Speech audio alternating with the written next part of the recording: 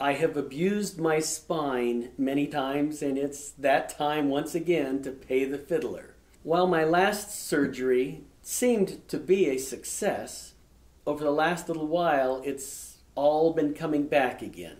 The knives in the middle of my upper back, the pains down the arm, the numbness, uh, inability to hold things very well, especially my violin and bow.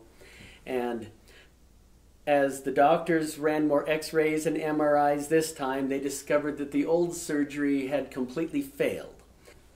The bad news is they have to go in and redo the old surgery, pull the titanium plate and screws off, and replace that disc again uh, because the, the bone never fused properly and is actually completely deteriorated now. Uh, that's the bad news. The good news is the vertebrae below that uh, needs surgery on it.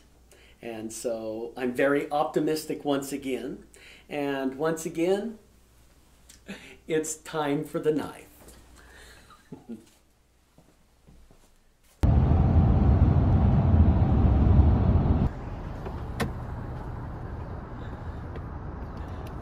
so here we go again.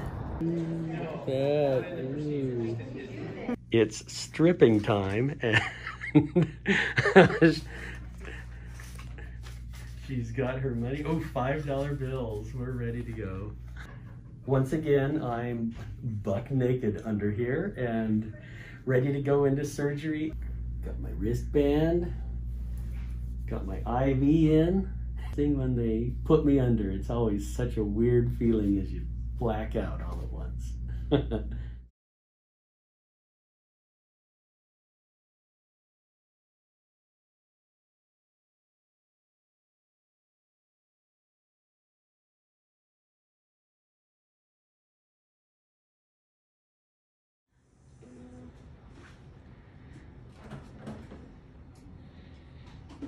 Whoa, this is a lot more woozy than the last time waking up.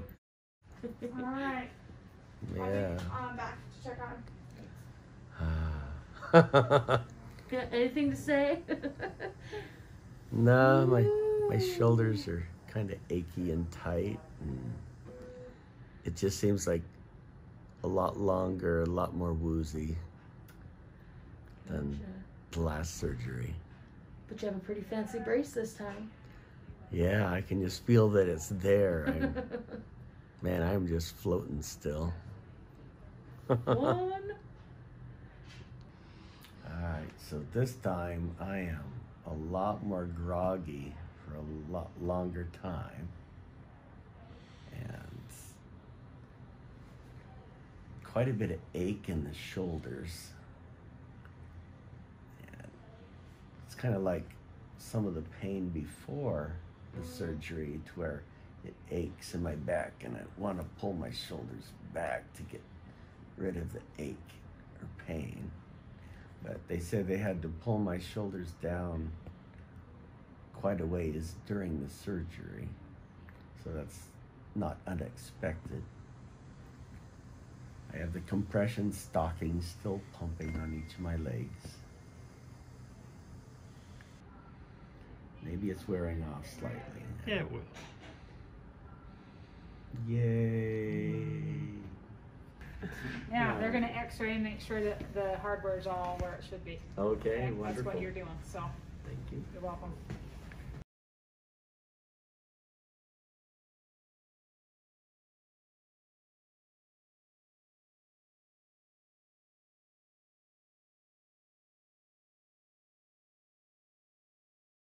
I've been up, gone to the restroom, just got back from having x-rays.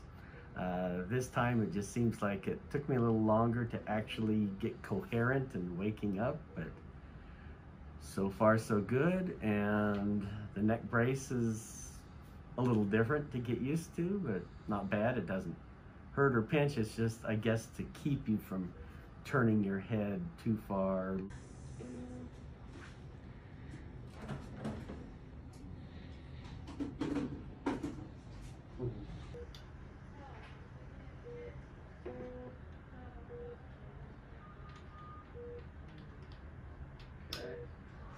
I'm gonna turn this over to you. So just while you're awake, we'll leave it here. We want you to pick it up every hour and take eight to ten breaths on it, just while you're awake. It's 12 hours after the surgery. I've had a dinner, which was a personal pizza and ice cream, and I'm amazed how good I'm feeling. I haven't had any additional pain pills, and kicked back and feeling mellow and surprised how good everything feels so far.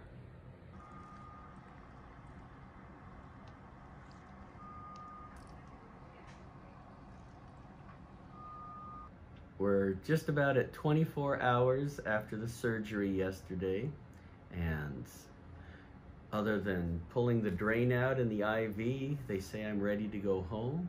And amazingly enough, I haven't had any pain pills whatsoever and not feeling any pain.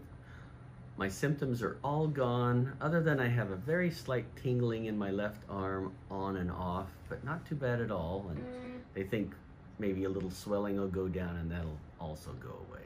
work on as good a posture as you can through there. It's not gonna be perfect, but yeah, that that looks better. Um, Hey Kevin, see ya. That's my neighbor, you know. Yeah? Well, Yeah. This is the guy who went to his house. we have to talk about that. I don't know. Adios, Kevin. Say hi to Cheryl. I will, Joe. Thank you.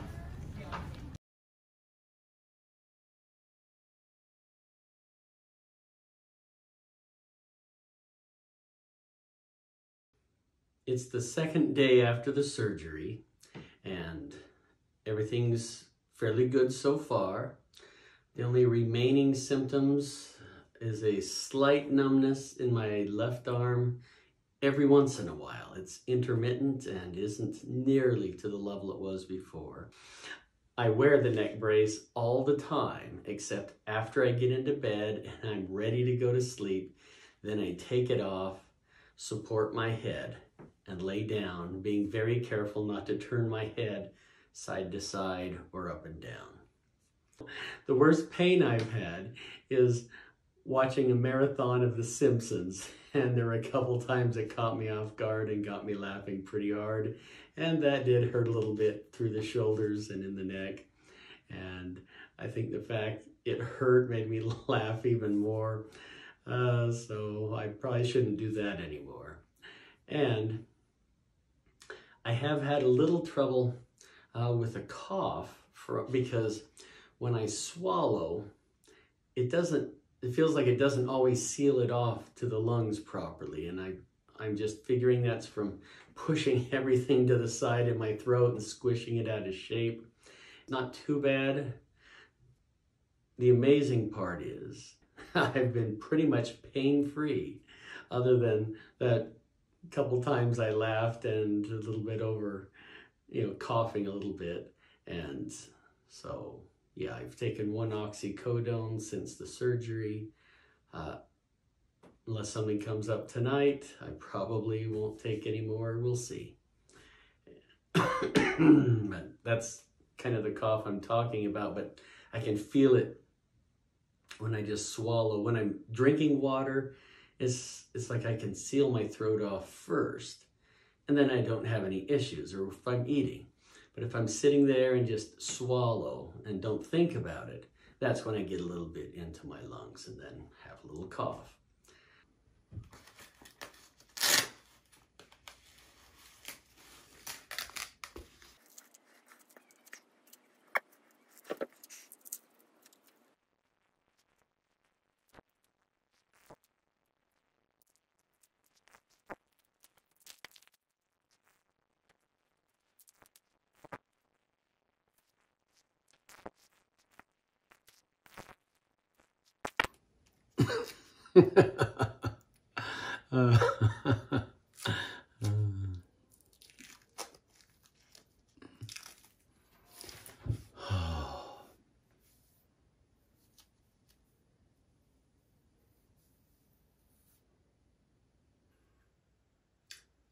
It's one week since the surgery.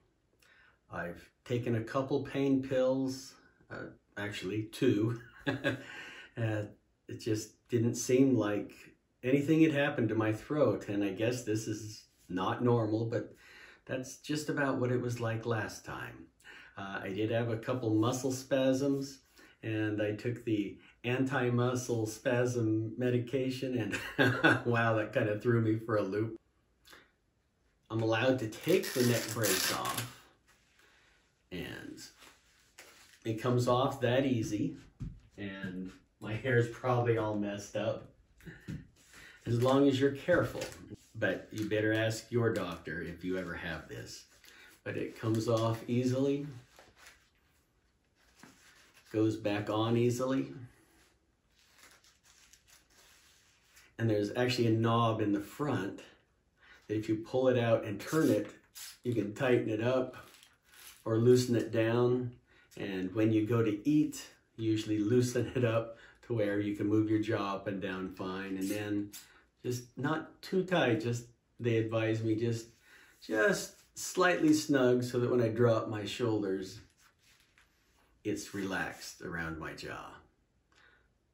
Yesterday, I walked through the valley and up to the violin shop very slowly, and that really went well. Always have to focus on relaxing my shoulders. Uh, they, I was in so much pain for so long that they are just cinched up. But probably the worst thing I've done is at night with the neck brace off a couple nights ago.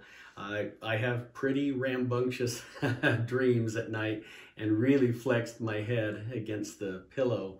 And so I'm back to wearing the neck brace pretty much 24 7. I feel like this surgery was a success, but I even feel better about this one than the last one. It's, there's smaller hardware in my throat and it's already easier to swallow than it ever has been since my last surgery.